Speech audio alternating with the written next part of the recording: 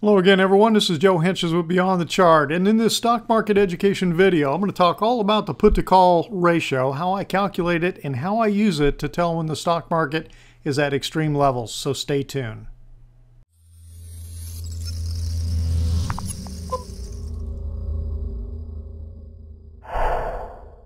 So let me uh, let me pull over and say here's where the information come from. The put to call information comes from the Chicago Board of Options Exchange, the CBOE. Okay, this comes out. They publish this every day. I get this data and I put it into a spreadsheet. And you've seen the spreadsheet, and I'm going to show you show it to you again in a minute. They showed various ratios here: total put to call, index put to call, exchange traded products, which is all of theirs, I, I believe, equity put to call. This is the number I focus on and then there's put to call on the VIX also. I focus on this one because I it's the sentiment I'm after. Focus purely on the stocks. I don't want the indice put to call to affect my ratio in here because um, I, I, think that that can have a lot of uh, arbitrage and uh, hedging going on by people with the indices, that type of thing in the big funds. So I really want the focus to be purely on the stocks in here. So what this means is, right, 0.68 means there's like say 68 puts for every 100 calls that were traded. That creates a 0.68 ratio for the day, okay? 68 puts for every 100 calls. Now, the market has a tendency to have a bullish bias, okay? So because of that, uh, you know, the uh, when you get down, the readings that I'll be talking about where I consider extreme bullishness still show that uh, the put to call ratio is like down in the 50s and 40s kind of thing. And, uh, and then when it gets bearish, it's up into the 80s, 90s, and above. And I'll show you what I'm talking about here in just a second. Let me pull this back over. And let me pull my spreadsheet in. And then we'll look, actually talk and show some instances. All right, so this is June 2014. This is the last time I got what I called bullish extreme sentiment. All right. So what I'm what I flag as red is when my rate the ratio that I get off the CBOE gets below 0.55 in here. And if it then gets, this is the 10 day, here's the actual readings. This is the 10 day moving average of those readings. And I believe it, I just use a simple moving average of it, 10 day simple moving average of these readings. And that's to kind of weed out some of the noise and make sure you've gotten a, a you know, extreme, you know, a, a decent reading in here. So when it gets down to below 0.50, I take it to a different color because it's a little more intense. Okay. And in individual readings down here, like 0.38, that's an extreme. Okay. So I color it purple, dark purple, dark red, and red. All right, so that's what I'm looking at. So we're looking in here like 49 puts for every 100 calls. This tells me that there's a level of bullishness uh, is uh, is getting pretty high, and that's you know to me a contrarian signal that some that we may be close to a top or a top may be coming. Okay, so when uh, so that's how I look at that, and I'll scan back through, and I've showed this before. So here's one where we never, it got into the red, but it never got extreme red, but it still was, it was January 2014. Now on the opposite end of the spectrum, let me go. Uh, I'm going to take you all the way back into, um, and I'll visit this on the chart. When it gets up into the 80s, okay, and uh, and into the 90s that's when there's a, a, lot more puts okay? It's almost equal. You know like here here's 116 puts for every 100 calls 134 puts for every 100 calls okay? So the bearishness is starting to get extreme and you're getting a 10-day reading of the bearishness in here. And so uh, that's starting to say okay we're getting a little carried away on the bearishness side. We may be close to a bottom all right, so that's what we look for in here. So let's see, and, and so sometimes, you know, you can see where it starts to get there, but it doesn't get extreme when the 10 day gets above 90.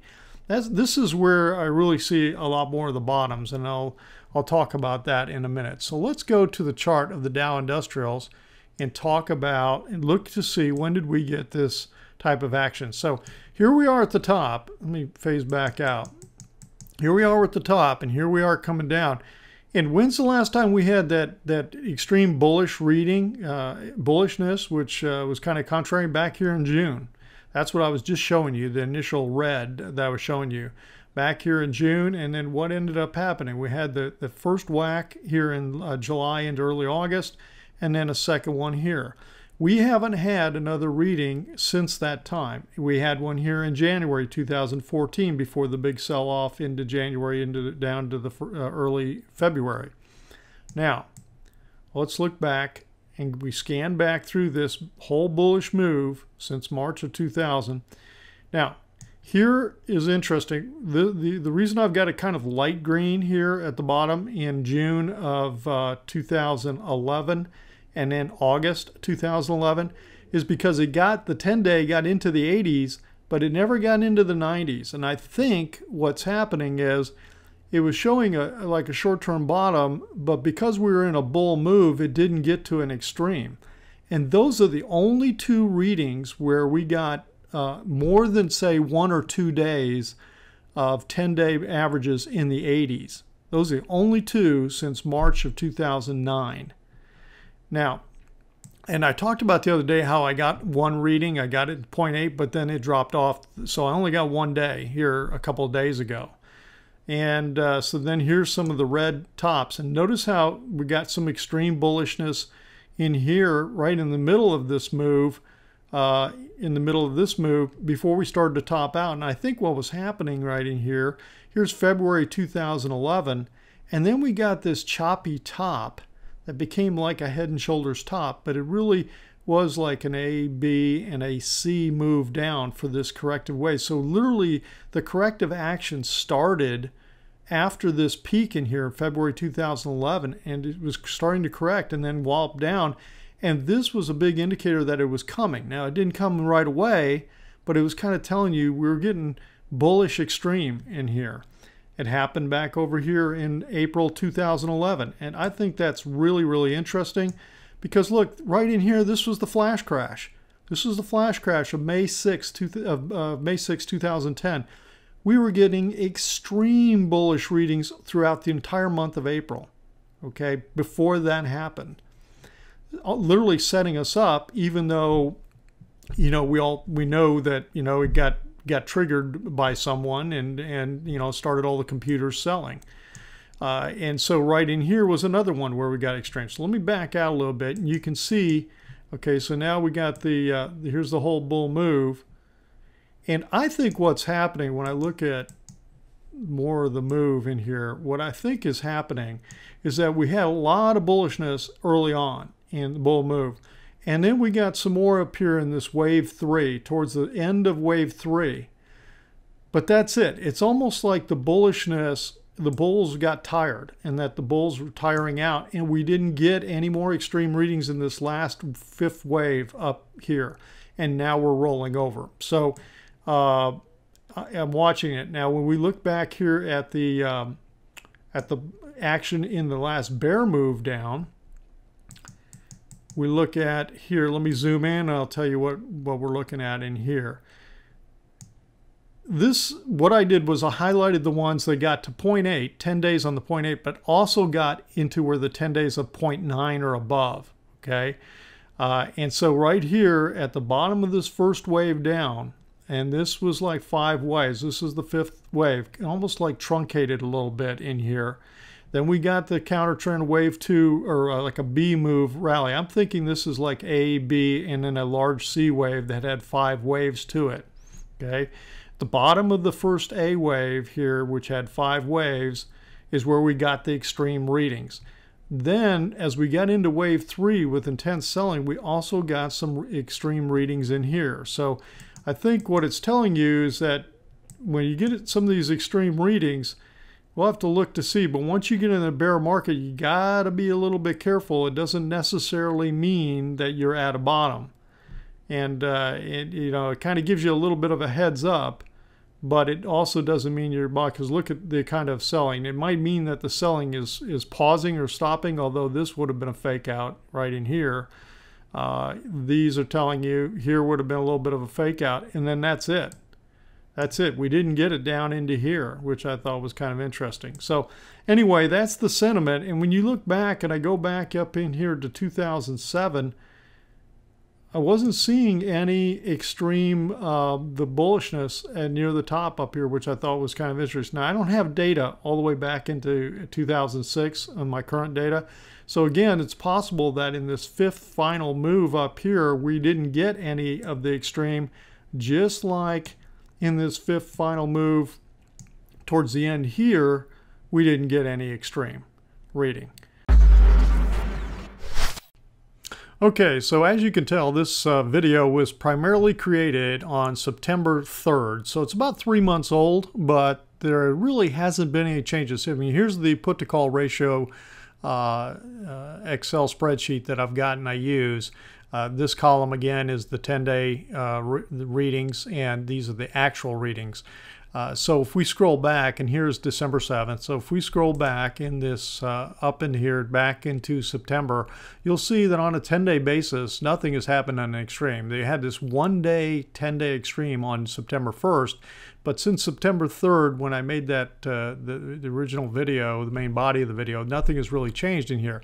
Now, the one thing I'll note is that every once in a while, when you get these extreme readings on a one-day basis, one-day reads, sometimes you get the bounce, and sometimes you'll get a bounce for a few days. And you can see, like here, uh, at the end of September, we got one, two, uh, one-day extreme readings for two days in a row.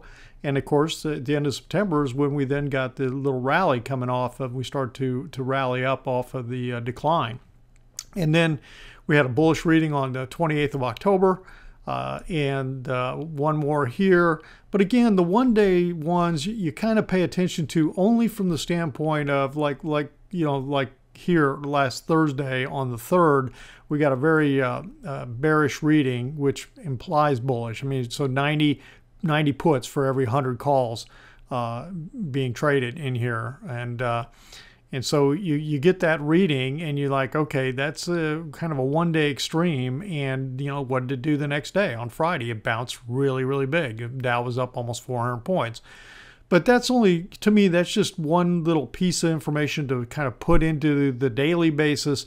But from the standpoint of strong uh, turns in the marketplace, uh, tops, bottoms, that kind of thing, uh, you know, you really, I rely much more heavily on the 10 day uh, readings that we get. And as you can see, we don't have any extremes. And as I talked about earlier in the video, uh, we haven't had an extreme top type reading since what we got in June 2014, which was really kind of a precursor to the tops, uh, you know, and so far the market topped out in May of 2015, and that hasn't been exceeded at this point. And uh, I'm not, uh, I'm not uh, anticipating that it's going to it's going to be. I mean, I, right now, the way I view the market action, the wave structure, and all of that, uh, I think there's a high probability that that top is in, and that it may be the top for quite a while. All right, that's it for today. If you thought the if you liked this video, if you felt it was very helpful, please uh, like the video hit the like button down below and uh, and share the video. Uh, you know, tell other people about it. Share the video with other people. Uh, and uh, you can you can copy the link and, and share it with other folks. And uh, if you're not a subscriber, hit the little subscribe button down here in the lower right hand corner. And also check out the website. Come on over and uh, and check out the, the, the website and see what I've got for you over there. All right, this has been Joe for Beyond the Chart. Uh, thanks for stopping in. We'll talk to you on the next video.